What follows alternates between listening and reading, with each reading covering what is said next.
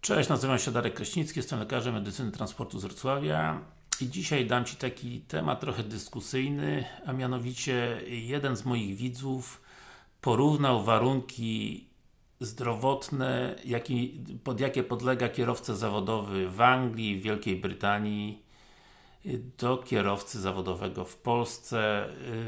No, nie, nie oceniać te dwa systemy, ale wydaje mi się, że temat jest dyskusyjny.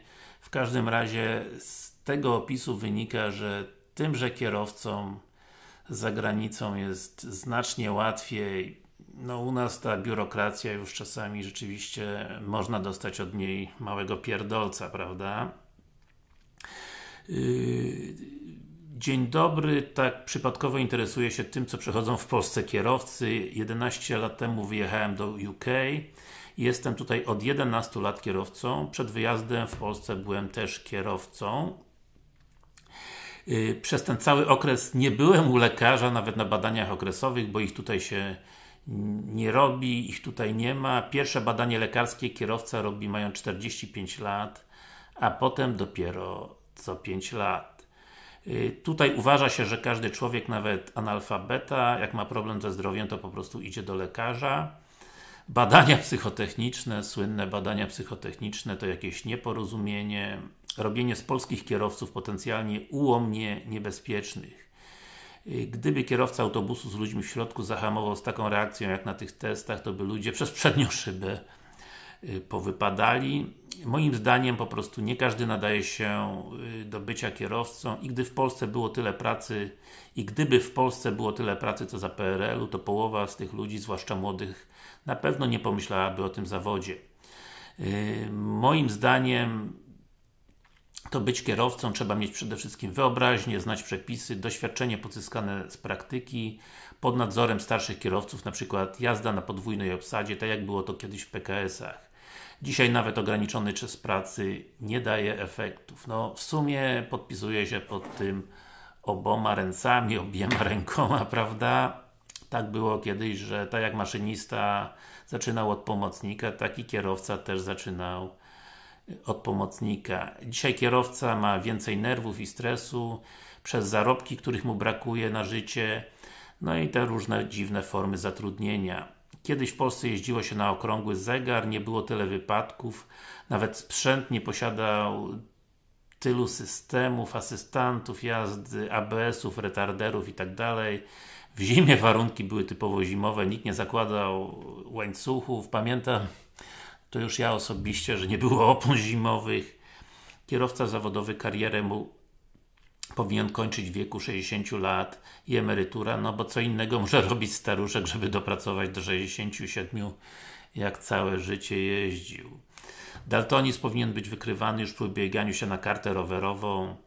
Testy teoretycznie, jak na psychotestach, powinno się robić polityką w celu sprawdzenia ich inteligencji, żeby stwierdzić, czy nadają się do prowadzenia funkcji państwowych, także tutaj akurat nie też się pod tym podpisuję.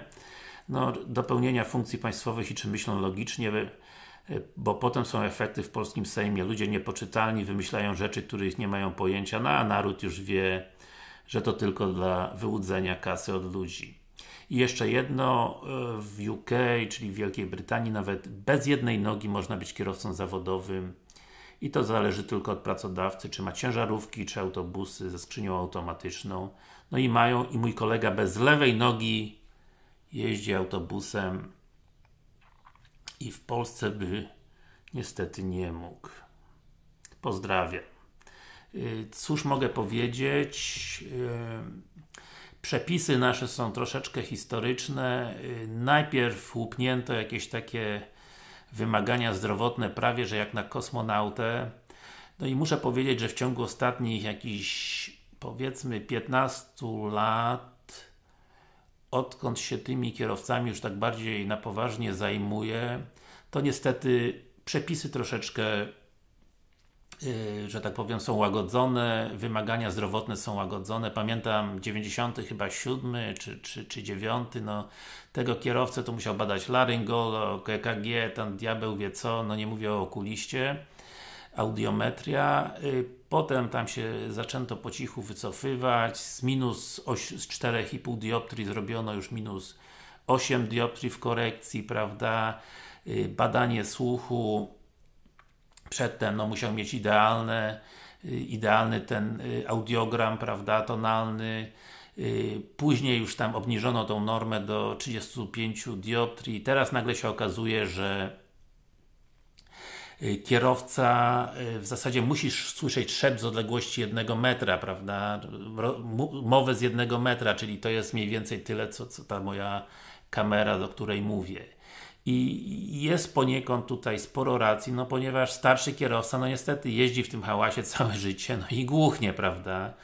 Jeździł te 30 lat, powiedzmy od 18 czy tam od 20 któregoś roku życia, ma 50 pary, a tutaj nagle idzie, panienka patrzy, no niestety panie, no audiogram, no co ja mogę zrobić? No sam, sama za przeproszeniem zapierdziła do, do roboty autobusem albo albo tam jakimś tam cinquecento, prawda, jeździ tylko z pracy do pracy, no ale jest formalistką i nic nie poradzisz. Także artykuł dyskusyjny, czy te psychotesty są potrzebne, no y, być może tutaj dobry, dobry temat jest podniesiony, że, że być może po 50, prawda, po tym 45 roku życia, żeby było trochę częściej, no ale bez przesady już tak łupać tego kierowcę co 5 lat no ale z drugiej strony też trzeba sobie zdać sprawę, że państwo nasze kochane polskie naprodukowało psychologów ci ludzie tak naprawdę nie mają roboty i wpycha się tą psychologię, jakby to powiedzieć, od zakrystii tylnymi drzwiami, gdzie tylko się może, prawda? I to jest też nasze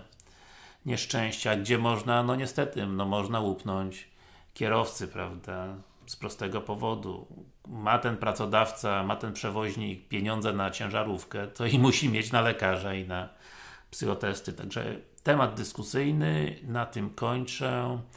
Y, komentarze oczywiście poniżej tego filmiku i koniecznie zasubskrybuj się do mojego kanału Lekarz Medycyny Pracy. Mówił Darek Kraśnicki z Wrocławia, lekarz specjalisty medycyny transportu i do zobaczenia w moim kolejnym wideo.